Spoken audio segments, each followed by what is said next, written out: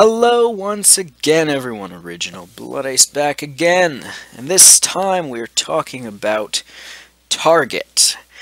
Most of you probably are aware of the store called Target since it's quite much more popular in the States than it is here in Canada. And anyway, this story only affects us Canadians.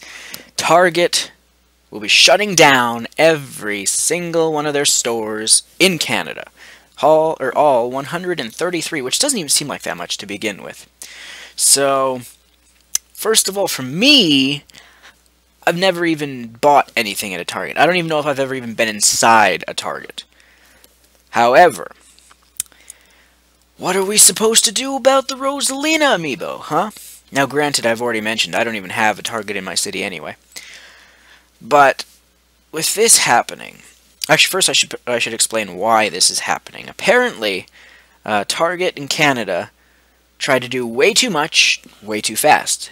They haven't even been here maybe two years in Canada, and uh, basically they've been expanding, expanding, expanding, making more and more stores, but they've been stupid and not actually, uh, you know, keeping up with their suppliers. So basically, they're opening up all these stores that hardly get any merchandise. So people will go in there, and there's people who, in Canadians, that have uh, taken pictures and posted it on social media, Twitter and whatnot. And they're just like, oh, look at all this. The shelves are all half empty and everything.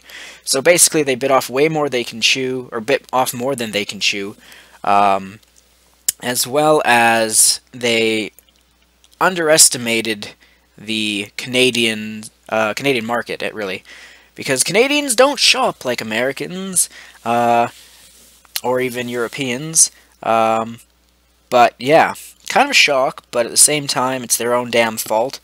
Uh, so I really hope that Nintendo, you no longer do anything Target exclusive ever again. In fact, you should just completely ignore Target and don't even give them anything Nintendo related.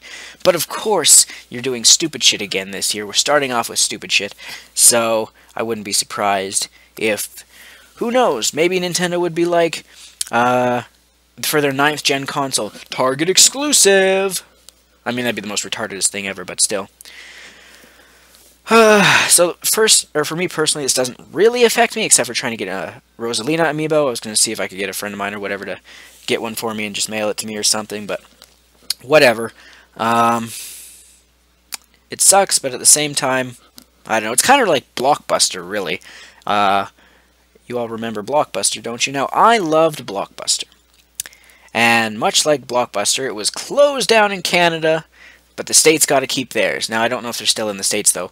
Uh, but to me, this is kind of a similar situation. Because for both Target and Blockbuster, I blame the Americans. uh, but, uh, yeah. I lost my train of thought. I guess I should explain why I blame the Americans. If we look back at Blockbuster, the Canadian ones were always doing fucking, fucking, fucking fine, you know? But then the States ones had so much debt, and for some reason Canada was like, oh, we'll take the debt for you, and then uh, the American ones got, a, got off without any debt and then that killed off the Canadian ones, and then obviously the American ones got back into debt and it killed it off. Not to mention stupid fucking Netflix, which I still can't fucking stand that shit. Uh, and then, of course, now with Target here, uh, kind of the same thing. I mean, they expanded into Canada. They basically replaced a store we had called Zellers. That was our equivalent. And Zellers was actually not a bad store. Uh, I'd shopped there quite a few times throughout my life, and uh, you know, they were not my first choice for a store, but they were pretty good. Um, but yeah, so they replaced uh, Zellers, and then all of a sudden now, poof, they will be gone as well.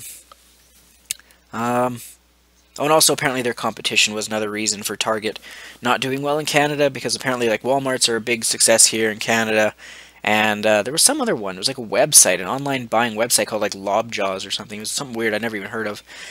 But yeah, that's about it, I suppose. I don't really need to go into uh, anymore this video. Um, 17,000 employees will be out of work. Uh, it'll trigger a 5.4 billion quarterly loss. Uh, so that's really gonna suck for them and the 17,000 people who just get fired or let go, I guess.